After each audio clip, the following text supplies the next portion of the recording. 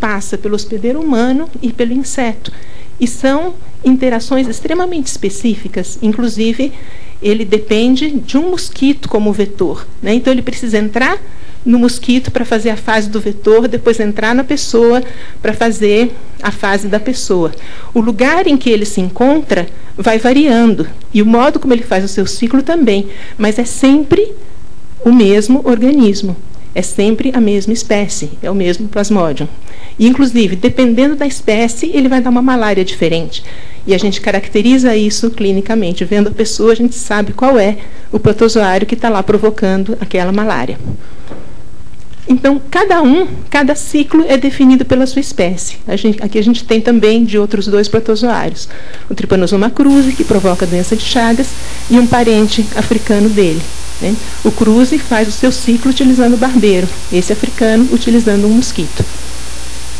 Existem espécies que estão em risco de extinção. Então, o IBAMA protege os seus ovos. Né? Por que, que o IBAMA protege o ovo de tartaruga?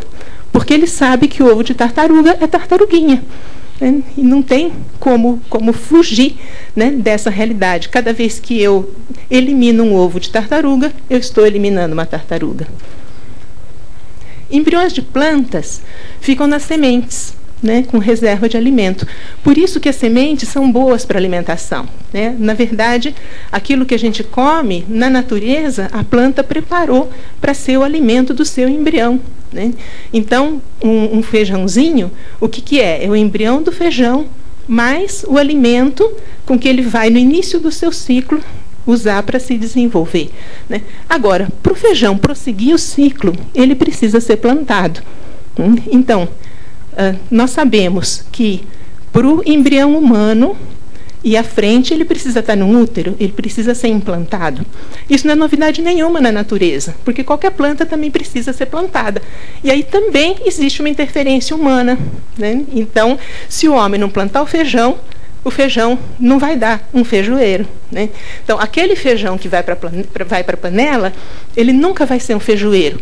E nem por isso a gente diz que a gente faz pré-feijoada ou que a gente come pré-feijão. Não, é simplesmente a fase do ciclo daquele ser vivo. Ele vai passando pelas diversas fases no qual a natureza o, o, o preparou. E tudo isso está programado onde? Né? Tudo isso está programado no DNA de cada um. Cada espécie tem o seu DNA e vai se expressar, vai se desenvolver conforme aquele código, aquilo que está gravado no seu DNA. Então, o projeto Genoma Humano, ele vem fazendo com que nós possamos conhecer profundamente o nosso próprio genoma. Então, ele caracterizou o quê? O programa da nossa espécie, o programa do Homo sapiens. Caracterizou e vem caracterizando. Então, nós já sabemos que são 3 bilhões de pares de base, que são as letras genéticas, e que isso, né, claro, isso não está escrito em lugar nenhum, está tá em programas de computador que podem ser acessados. Se nós fôssemos colocar né, o genoma de uma pessoa no, escrito em livros, isso daria 160 listas telefônicas de 600 páginas. Né? Esse é o tamanho do genoma humano. Nós temos nos dois conjuntos de 23 cromossomos cerca de 30 mil genes. Né? Quer dizer, é um imenso livro que nós apenas estamos começando a saber ler. Né? Mas sabemos que são cerca de 30 mil genes que vêm no espermatozoide, os correspondentes 30 mil que estão no óvulo, e quando se juntam esses dois conjuntos de genes, se forma então um ser único e irrepetível. Porque vocês pensem quantas combinações podem existir entre conjuntos diferentes de 30 mil genes. Então, isso é o que acontece. Então, é esse imenso livro né, que a gente está começando a saber ler e que, no entanto, cabe inteiro aqui, né, nessa primeira célula que se forma, então, na junção do espermatozoide e do óvulo. E aí já está definido, né? já tá defi estão definidas as características genéticas desse indivíduo. Já está definido se é homem ou mulher, né? nesse primeiro momento. Então, ou, quando a gente fala em montinho de células, a gente poderia dizer montinho de células masculinas ou montinho de células femininas, porque aquilo já é um menininho ou uma menininha. Isso já está definido ali. É, se tende a ser alto ou se tende a ser baixo, né? porque isso também a gente sabe que vai haver fatores ao longo do, do desenvolvimento que possam fazer com que a pessoa seja um pouco mais alta ou um pouco mais baixa. Mas a gente também sabe que filhos de pais altos tendem a ser altos, filhos de pais baixos tendem a ser baixos. Então, isso tudo já está definido ali no seu programa genético. Se vai ter cabelo louro ou moreno, encaracolado ou liso, a cor dos olhos, tudo isso já está definido nesse primeiro momento da fecundação. Né? Então, já é um indivíduo humano específico, único e repetível. Né? Já estão definidas eventuais doenças genéticas. Né? Então, até se pode, né, como até já, já foi comentado, na, na fase de blastocisto, se você tirar uma célula e for examinar se tem uma doença genética, eventualmente você já pode detectar que essa doença genética está ali. Né? Agora, nós temos que pensar, enquanto sociedade, se eu detecto uma doença genética num embrião, eu vou eliminar esse embrião se eu detecto que um embrião tem hemofilia, eu vou eliminar, então o Betinho teria sido eliminado se ele tivesse sido gerado numa clínica de fertilização in vitro, né? porque o Betinho era hemofílico. Certo? Então, nós começamos a classificar as pessoas entre aquelas que são normais, aquelas que são adequadas para a nossa sociedade e aquelas que são inadequadas. Né? Eu acho que é importante a gente pensar nisso. Depois também já estarão aí as tendências herdadas, como dom para música, dom para pintura, dom para poesia. Então, tudo isso já estava, né, já está ali na primeira célula que é formada. Né? O zigoto do Mozart já tinha dom para música e o zigoto do Drummond já tinha dom para poesia. Tudo isso já está lá. Né? É, é um indivíduo humano irrepetível. E já se pode fazer a impressão digital genética que é a que se usa nos testes de paternidade. É claro, eu não posso fazer objetivamente, tecnicamente, porque se eu fizer destruir a célula, acabou o ser. Né? Mas, teoricamente, quer dizer, esse mesmo padrão é o que existe desde a primeira célula. Então, hoje, o indivíduo já está tá ali. Né? A impressão digital do dedo vai começar a aparecer lá pela décima semana da gestação. Né? Quer dizer, um um embriãozinho de dois meses e meio já começa a ter a sua impressão digital que ele vai pôr depois lá na sua carteira de identidade. Mas se a gente falar da carteira de identidade genética, ela está lá desde o primeiro dia. Né? Esse mesmo padrão é o que vai a pessoa conservar ao longo de toda a sua vida. Então, se a gente olha uma pilha de CDs, eu não sei o que está gravado em cada um, mas já está lá. Se eu gravar uma música do Caetano Veloso, mesmo que essa música nunca toque, eu não dê oportunidade para que essa música toque, essa música está gravada ali naquele CD. Né? Então, cada embrião ele é gerado com a sua música específica, né? a que ele vai desenvolver ao longo da sua vida, a menos que não lhe deem oportunidade para tal. Né? Mas a, a genética da pessoa já está todinha lá. Então, o embrião é um indivíduo, né? é um indivíduo original e repetível. E todos nós fomos um dia uma célula assim. Se essa célula tivesse morrido, nós não estaríamos aqui. Então, a única conclusão que eu posso tirar é que aquela célula era eu. Né? Então, eu já fui unicelular, mas eu nunca fui protozoário. Certo? Então, eu não fui montinho de célula Certo? Nenhum de nós consegue pensar em si mesmo, eu pelo menos não consigo, como tendo sido um montinho de células pré-humano. Né? Não, né? eu fui gerada, graças a Deus, por um ato de amor dos meus pais, e eu penso que ali né, eu, eu já fui gerada como pessoa humana. Um indivíduo, um indivíduo de que espécie? Né? Da espécie humana, que é chamado de Homo sapiens. E é interessante porque assim nos chamaram, né, os taxonomistas, os cientistas que dão os nomes às espécies. Por quê? Porque a humanidade se caracteriza pela sabedoria. Né? Então, esse sapiens vem do que? Da sabedoria. Mas ser sapiens é uma propriedade da espécie. O, o indivíduo não precisa começar a manifestar a sua sabedoria para poder ser considerado humano. Não, é a espécie que é sapiens. Né? Então, o embrião humano é sapiens, mesmo que não lhe permitam desenvolver-se aprender. Né? Ou mesmo que ele tenha alguma deficiência que ele não venha a poder desenvolver plenamente essa capacidade. Ele é sapiens antes de que surjam as células do cérebro. Não são as células do cérebro que vão caracterizar aquele indivíduo como sendo da espécie Homo sapiens. E, inclusive, nós podemos perguntar, né? e eu pergunto aos que querem negá-lo. Né? Se o embrião humano não é Homo sapiens, a que espécie, então, ele pertence? Muito obrigada. Mais uma vez, eu, eu peço que a plateia não se manifeste, porque no âmbito das sessões jurisdicionais não existe essa possibilidade de participação. Embora se trate de uma audiência pública, mas já expliquei, esta que estamos a promover tem um caráter instrumental, tem um caráter instrutório de uma outra que será realizada para julgamento do mérito da causa. Eu chamo o segundo expositor, doutora Cláudia Maria de Castro Batista que vai falar sobre a autonomia do embrião humano.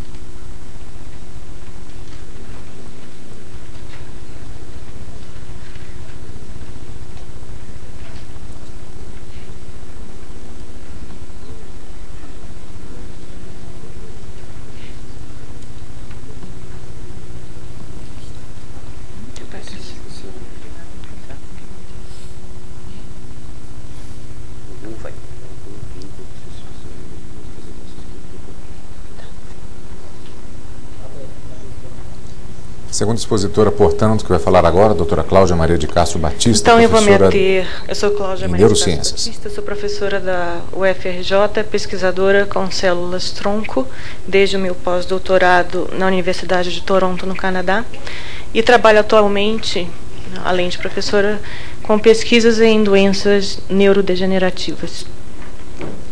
Eu vou me ater nessa apresentação apenas é, a, ao aspecto da autonomia do, do embrião humano.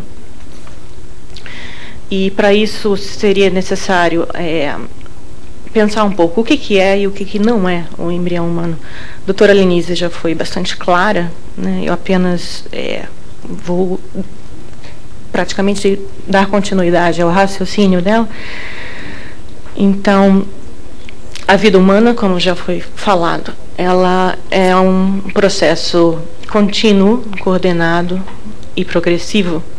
A partir da fecundação do óvulo com espermatozoide, é, acontece logo em seguida a primeira divisão e assim uh, consecutivamente aqui nós temos uma menina né, com sete semanas de vida a partir dessa célula que foi fecundada nesse momento então, é, nos próximos, nas próximas etapas, então, aqui ela aparece com 11 semanas, seis meses, é, a mesma pessoa com sete, sete meses de gestação, nove, né, recém-nascida, e depois uma uma pessoa adulta. Né? Então essa pessoa, é, ela sempre foi sempre teve a mesma identidade.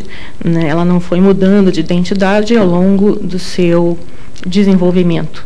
Né? É, assim como nós né? tivemos sempre a mesma identidade, embora funcionalmente nós fomos mudando. Eu não sou a mesma Cláudia aos 41 que tinha aos 15 anos, em, aos três meses, e nem ah, quando eu tinha sete meses de gestação no útero da minha mãe.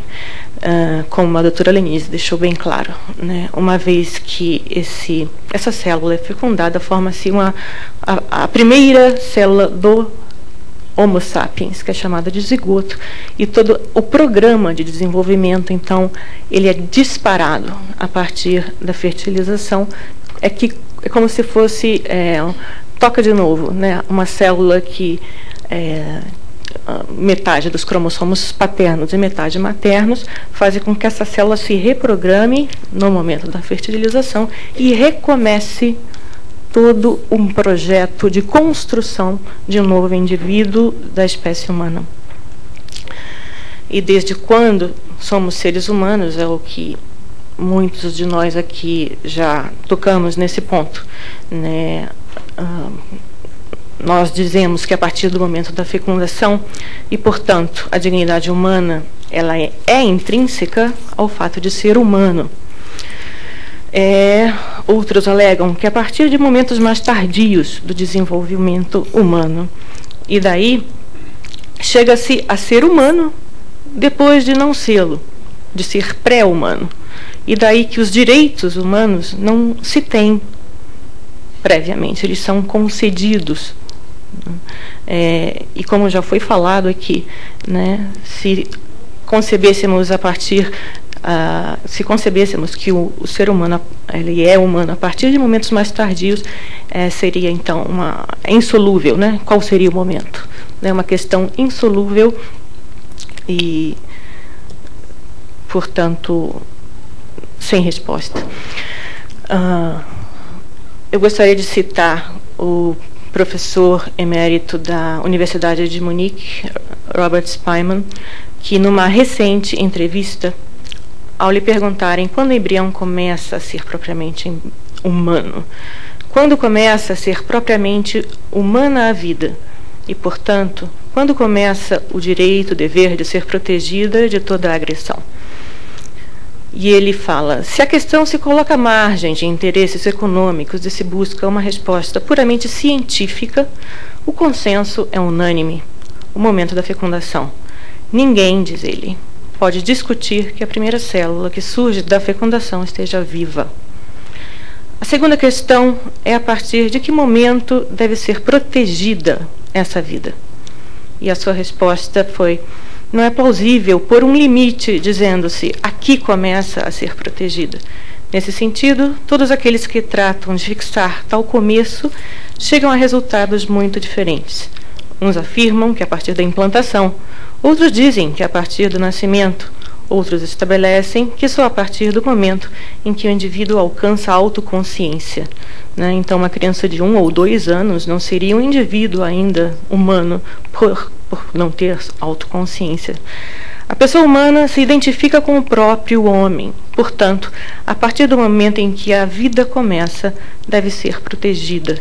Todo o resto é arbitrariedade. Então, como já foi falado, fecundação se dá a partir de dois gametas, um feminino e um masculino.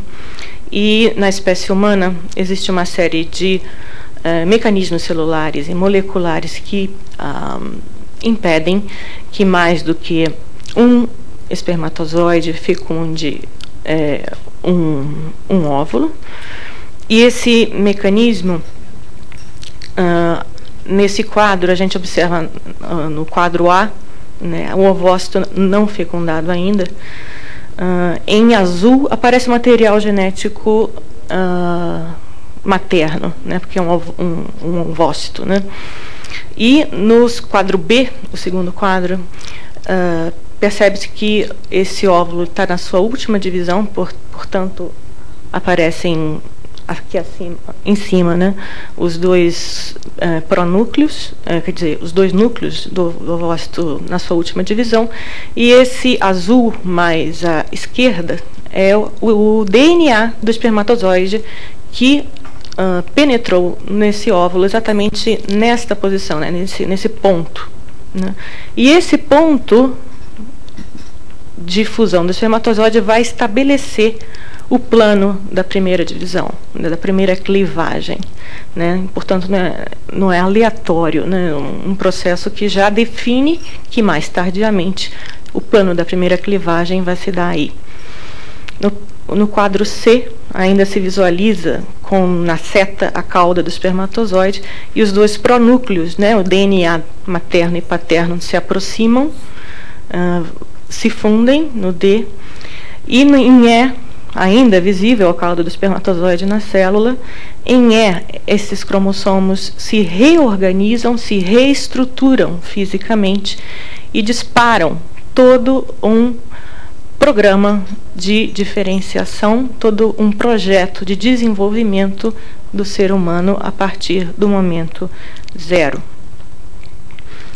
Portanto, é a fecundação que permite que o desenvolvimento seja disparado e prossiga por si mesmo. Né? Esse, esse projeto de desenvolvimento, quem tem é o zigoto, né? o embrião que tem a sua vida né, a partir de uma única célula. Né? Aventa-se né, que a fertilização não é um evento, mas um processo com distintos subprocessos, que podem levar segundos, minutos, horas, se se leva em conta a individuação. E posso dizer que quando o processo de uma nova vida começa, este continua por estágios biológicos até que a vida chegue ao seu termo. O começo da vida está no início do início do processo, não do final do início. E eu gostaria de fazer uma comparação agora entre vida humana e vida celular. Né? À, de, à esquerda no painel nós temos a, uma foto é, de um embrião de três dias e à direita uh, são neurosferas com as quais eu trabalho. O que é uma neurosfera? Quando se uh, se pega uma célula-tronco do cérebro de um mamífero, eh, de um animal, né, e se coloca, se plaqueia num, num, num meio de cultura, essa célula-tronco do cérebro, ela se divide inúmeras vezes e forma uma esfera de células.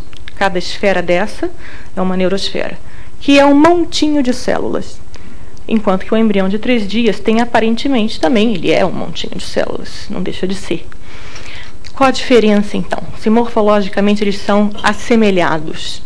A diferença entre a vida humana e a vida celular está na autonomia e unidade de projeto.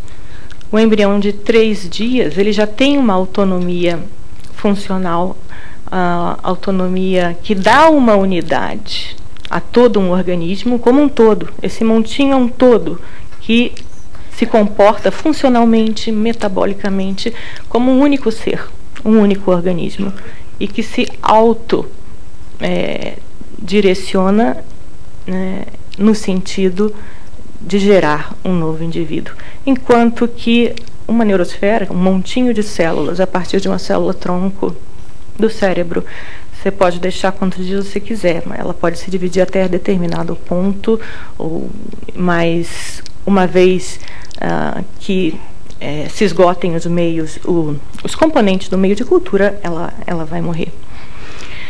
O embrião de três semanas, né, partindo daquela aquele montinho de células, depois de três semanas, ele vai ter essa morfologia. Então, todos nós, com três semanas, não éramos muito fotogênicos, como vocês podem comprovar. E as neurosferas, após três semanas, não geram nada mais, nada menos do que novas neurosferas, se forem é, dissociadas e replaqueadas. Porque falta nelas uma autonomia, um projeto de desenvolvimento, uma unidade como um todo. Em 2002, essa, essa pesquisadora, Madalena Zanika Goetz, fez um experimento muito simples ela simplesmente pegou um zigoto, na, na um zigoto, um embrião, né, na, na, primeira divisão, que aparece nessa foto à esquerda, embrião de camundongo, em cultura, injetou uh, um corante cor-de-rosa numa das células e um corante azul na, na outra célula. Esperou que esse embrião eh, se desenvolvesse alguns dias.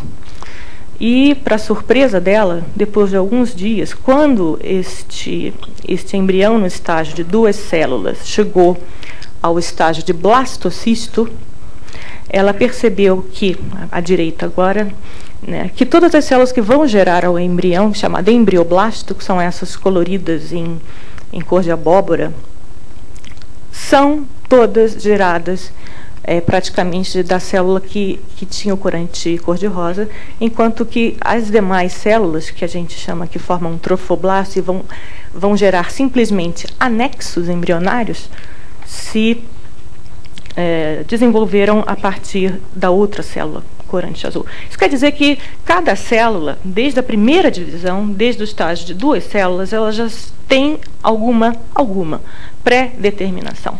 Né? Então, a própria Nature, nesse editorial, comentando este artigo, fala: né, Your destiny from day one. É seu destino é, predeterminado a partir do primeiro momento. Essa célula no estágio, né, esse embrião no estágio de duas células, é, mostra claramente que ele é assimétrico, ele não é um monte de células ou duas células totalmente é, são iguais, tudo bem, totipotentes, mas você percebe-se que há uma diferença no seu conteúdo, componentes e um disparo de programa já diferenciado, que cada uma delas já está expressando diferentes proteínas a partir do mesmo DNA. É, aqui só fazendo uma uma analogia, né? Então, no primeiro dia, como já existe uma pré-determinação nesse estágio, no, sexto dia, se fosse se fosse humano esse experimento, e com 18 semanas, né? Percebe-se que existe uma polaridade já no primeiro dia, uma assimetria e é, um feto com 16, com 18 semanas, né? É, pode-se dizer claramente né, que o feto foi gerado dessa célula uh, que herdou corante cor-de-rosa e a placenta toda uh, do outra, da outra célula. Esse embrião, como vimos, ele vai se dividindo, passando por estágios de duas, quatro células, oito células, até que ele tem essa, essa característica de mórula. Né? Então, só revendo né, que o desenvolvimento humano começa com a liberação do, do ovócito ou óvulo do ovário. Uma vez, se for fecundado aqui nessa porção da tuba uterina, ele passa por todos esses estágios de divisão celular, né, é, e até até atingir o seu uh, estágio de blastocisto, né, como já falaram aqui, que é quando ele se implanta. Né. É, todo esse processo de divisão, de implantação nesse estágio, ele é uh, um processo né, onde o embrião se autodetermina né, e a, a, a se dividir né, vai determinando que células devem ser, que proteínas devem ser expressas ou não em cada célula. Né, e a implantação decorre de uma conversa química né, entre o próprio embrião e as células do endométrio materno. E aqui é uma foto só mostrando o momento da implantação desse blastocisto. Nesse estágio, então, esse embrião ele pode se ser implantado, ele se implanta no endométrio materno, se se concede a ele é, que curse o seu uh, tempo, né, o seu curso normal de desenvolvimento, ou ele é congelado. Né? Ou depois descongelado e usado, destruído, para ser usado em pesquisa científica. Também alega-se que estágios muito precoces do processo são apenas humanos em potencial. Né? E eu diria que uma vez que o processo tenha começado, este embrião não pode desenvolver-se numa ovelha, um cachorro ou o que for. Ele é inerente e imutavelmente humano, como deixou claro a doutora Lenise. Né? Ele é, é o zigoto ou qualquer outro estágio precoce do desenvolvimento não é um humano em potencial. É uma vida humana num estágio específico de desenvolvimento. Ele é potencialmente um médico, potencialmente um advogado, mas humano ele já é. Então, concluindo do ponto de vista biológico, a formação e desenvolvimento do embrião humano é um processo gradual, contínuo e coordenado desde o momento da fertilização, momento em que o novo organismo humano está constituído com sua capacidade intrínseca de desenvolver-se por si só no indivíduo humano adulto. As exigências éticas em relação ao cuidado da vida e à integridade do embrião demandam que se respeite o ser humano a partir da fecundação. O caráter pessoal deve ser reconhecido desde a constatação do início da existência humana. Por fim, o respeito ao embrião humano como pessoa humana deriva da realidade da força da constatação biológica e da argumentação racional O direito à vida e à integridade física, desde o primeiro momento da existência, é o princípio de igualdade que deve ser respeitado. Muito obrigada.